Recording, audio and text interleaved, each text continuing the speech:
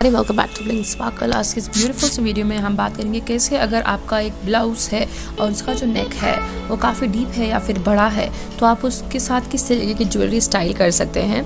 I think uh, जो बिगर neck line होती हैं उनके साथ लेयर नेकलेसेस बहुत ही आउटस्टैंडिंग uh, लगते हैं। Uh, आप ट्रिपल या फोर लेयर के नेकलेसेस पहने या फिर काफ़ी जो बड़े होते हैं या फिर वाइड होते हैं वो नेकलेसेस काफ़ी अच्छे लगते हैं।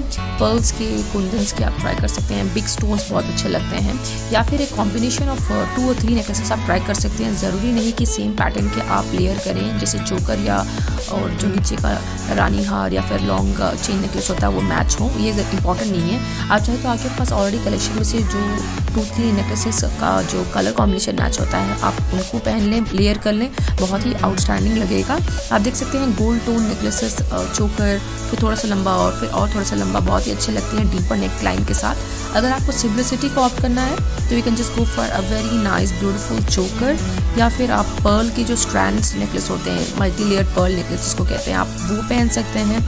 अगर आपको एंटिक ज्वेलरी चाहिए तो इस तरीके का हैंगिंग वाला एंटिक ज्वेलरी डीपर नेकलाइंस के साथ बहुत अच्छा लगता है। बड़े नेकलाइन की बात ये होती है कि आप उसके साथ सिंपल चेन पहनेंगे तो काफ़ी सिंपल लुक देगा। अगर आप थोड़ा सा मोटा चोकर पहनेंगे, या फिर बहुत ही डेलिकेट चोकर पहनेंगे तो बहुत मिनिमलिस्टिक लुक देगा। Long necklaces always rock with longer necklines so video आपको ये आइडिया दिया होगा, ये वीडियो ने कि आप किस तरीके की ज्वेलरी डीपर और बिगर नेकलेस के साथ आप पहन सकते हैं।